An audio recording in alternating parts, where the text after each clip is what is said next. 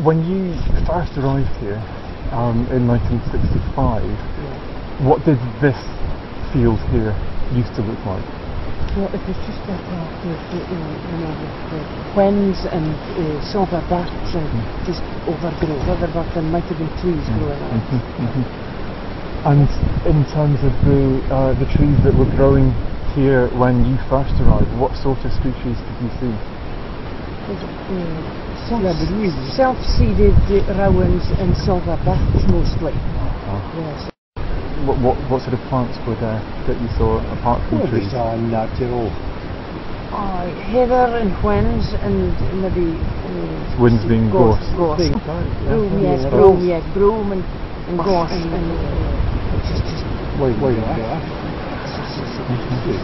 And so you're saying there's a, a patch of land just over there that uh, looks still So- like it would have looked like that. yes, it would have looked like that. Uh, Do you want to, to show me? Yes, yes, yes, yes. That's all good. That, that's what it would have looked like to see when she started. Maybe hardly surprised actually. Oh, I don't know, maybe we. Oh, that's a bit there, like. That, that lines was more out, I suppose. So you're saying in the past there probably would have been more heather like this? Heather, yes. Oh, I think there would have been.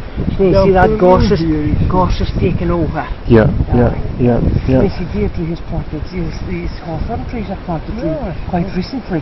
So yeah, I was going to ask this. And so why why is this particular area still um, the way it used to be? Well, the lady who owns it has just kept it like that. I see. She Okay. has just kept Oh, it she like that. didn't she didn't know what to do. She didn't want it ploughed up or, uh, or uh, cultivated. She just wanted the trees and wanted it left uh, the way it was. For conservation or? I, I would say for wildlife and conservation, aye, yes, aye. yes, uh-huh. But just like that, she and Heather, and see the, the burrows where there's maybe wildlife. Uh huh. Yeah, yeah, yeah. So there'll be rabbits and what Yes. what other kinds of animals would you see here? Badgers, rabbits, Oh. Badgers. and there could be deer up here as well. To find out more about what's happened on this piece of land, I visited the owner, Deirdre McKinch, who's the chairperson of the Turriff and District Heritage Society and is in- interested in hills, heritage and horticulture. She's lived here nearly 30 years. I had been here for about 15 years before we decided to, I decided that I was going to plant a woodland. The land wasn't really useful for anything else for my purposes. I used to graze my goats up there.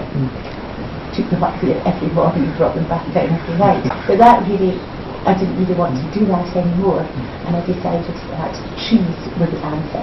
And at that time, because the croft was registered as a croft, the Scottish Executive were giving grants.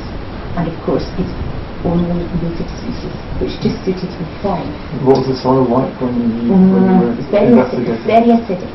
And as I say, it wouldn't have had any, it, there would have been no fertilisers or any improvement in it, on it, in perhaps the last 50 or 60 years. I don't think it had ever been cultivated up there.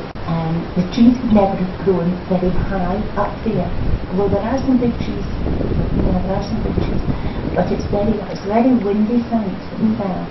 So it may well have just been scrubbed for quite a long time. Andy Day remembers back to a time when heath and scrub dominated far more of this landscape than it does today, and he reckons it would have covered most of the areas where there are now plantation forests. Oh, probably just just hill, natural hill.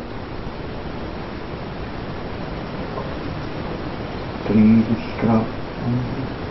Second is the if the large use the the, the of rough land is, is shooting areas.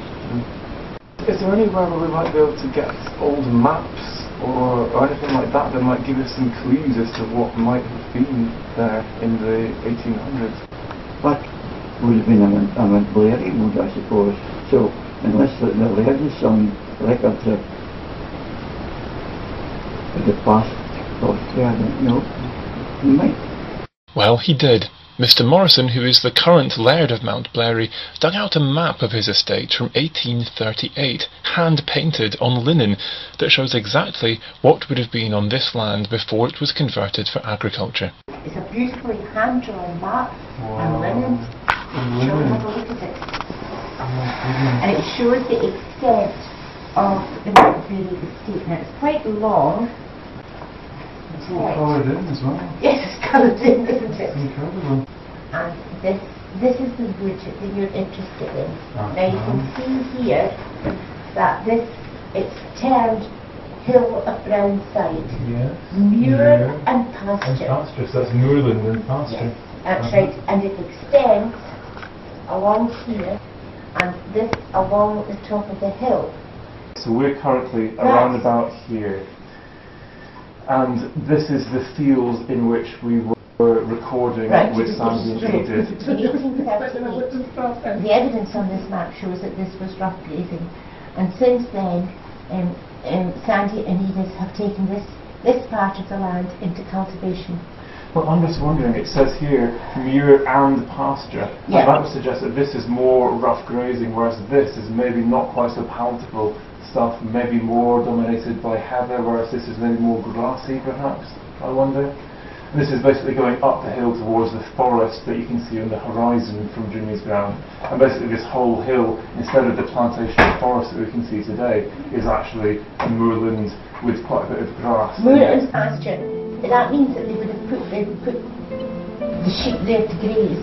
So my search has come to an end at last. From a handful of indicator species, I've managed to piece together a long lost landscape that is difficult to imagine as you look at the current scene of arable fields and plantation forestry. And I've managed to find a place that I think shows us exactly what the moor and pasture classification on the old map would have looked like.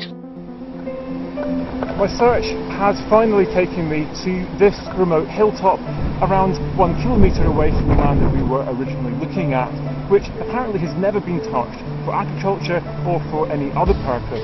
And we see these patches of gorse with Scots pine, like you can see behind me, uh, mixed in with uh, smatterings of birch, rowan, uh, in a mosaic of heather and grass. Plants have the capacity to tell complex and fascinating stories, not only about the current conditions they're facing, but about the history of the land. And all you need to be able to read these stories is a handful of indicator species and a basic knowledge of their ecology.